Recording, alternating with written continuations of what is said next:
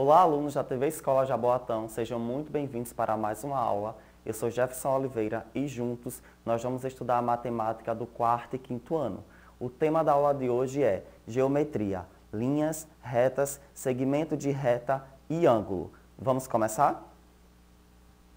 Observando a obra de Vassily Kandinsky, que é um pintor russo, o título da obra é Curva Dominante, nós podemos identificar diversas linhas geométricas. Vamos conhecer cada uma delas? Linhas geométricas abertas simples. São linhas abertas que não têm cruzamento. Olha só, nós temos aqui um exemplo de linha aberta simples,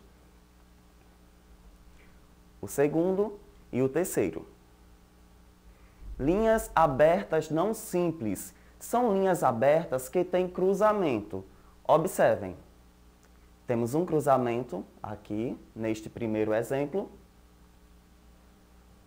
um segundo cruzamento e aqui dois cruzamentos. Linhas fechadas simples são linhas fechadas que não têm cruzamento. Olha só, esses são exemplos de linhas fechadas simples. Linhas fechadas não simples são linhas fechadas que têm cruzamento. Observem, nós temos um cruzamento aqui neste primeiro exemplo, outro cruzamento e outro. Nas curvas fechadas, podemos identificar o interior da figura está representado aqui pelo ponto A. O exterior da figura está representado aqui pelo ponto B. O contorno ou linha está representado pelo ponto C.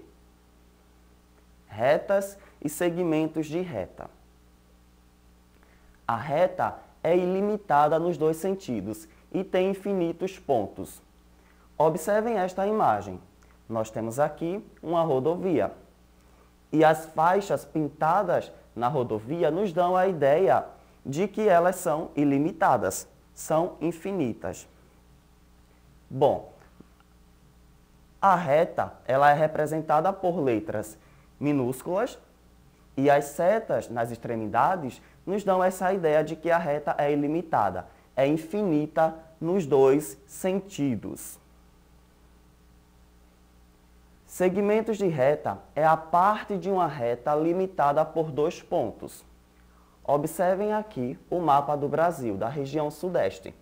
Nós temos um segmento de reta indicando a distância entre duas cidades, a cidade de São Paulo e a cidade de Belo Horizonte. Bom, o segmento de reta é representado por letras maiúsculas, e a notação matemática utilizada para descrever o segmento de reta é esse, CD.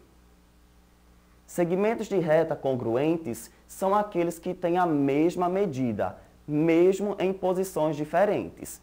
Observem, nós temos o segmento de reta AB, CD e RS. Bom, Observem que eles possuem a mesma medida, mesmo estando em posições diferentes. Na horizontal, inclinado, na vertical, mas eles possuem a mesma medida, mesmo estando nessas posições. Portanto, são segmentos de reta congruentes. Retas concorrentes e retas paralelas. Retas concorrentes quando as retas se cruzam, isto é, apresentam um único ponto em comum. Observem o mapa. Nós temos aqui duas avenidas, a Avenida Nuvem Branca e a Avenida das Torres. Essas duas avenidas nos dão a ideia de que elas são avenidas concorrentes, pois se cruzam em um determinado ponto. Vamos ver exemplos? Olha, nós temos aqui duas retas, elas se cruzam no ponto E, portanto, são retas concorrentes. Outro exemplo, nós temos aqui duas retas e elas se cruzam no ponto M, portanto, elas são retas concorrentes. Retas paralelas. quando não se cruzam, isto é, não apresentam um ponto comum e mantêm sempre a mesma distância entre si. Observando o mapa, nós temos aqui a Avenida Caminho Feliz e a Avenida Alegria. Essas duas avenidas, elas nos dão a ideia de retas paralelas, pois elas não se cruzam e elas mantêm a mesma distância. Olha só, outro exemplo. E um terceiro exemplo. Semirretas têm origem e são ilimitadas em um só sentido. Observe, nós temos aqui uma reta. Essa reta, ela é ilimitada nos dois sentidos, certo? Bom, vamos colocar o ponto C. Esse ponto C está dividindo a reta em duas semirretas. E observem que as duas semirretas, elas têm origem no ponto C. Ângulos.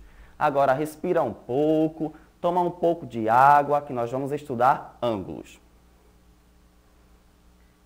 É muito comum quando você está assistindo um jogo de futebol, alguém falar, o jogador acertou o chute no ângulo, portanto fez o gol.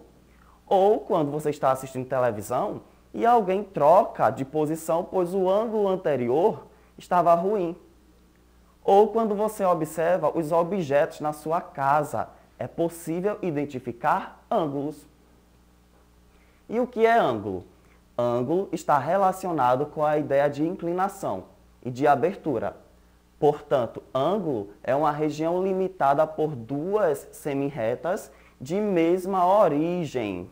Olha só, nós temos aqui duas semirretas, o primeiro lado, o segundo lado, elas se cruzam, se encontram, formando o vértice. Bom, o encontro dessas duas semirretas geram o vértice. E aqui nós temos uma abertura, uma inclinação. Nós chamamos de ângulo. Para medir um ângulo, usamos um instrumento chamado transferidor, cuja unidade de medida é o grau e o símbolo é esse. Bom, observem aqui, nós temos duas semirretas, tá? E elas se encontram formando o ângulo. Vamos medir esse ângulo. Para isso, vamos usar o transferidor. Basta colocar o centro do transferidor no vértice do ângulo de forma que a graduação zero fique no primeiro lado. Agora sim nós podemos contar. 10, 20, 30, 40. Este ângulo mede 40 graus. De acordo com a medida do ângulo, nós podemos classificá-lo em ângulo reto, ângulo obtuso e ângulo agudo. Vamos conhecê-los? Ângulo reto é o ângulo que mede exatamente 90 graus. Observem, nós temos duas semirretas, elas se encontram formando o vértice.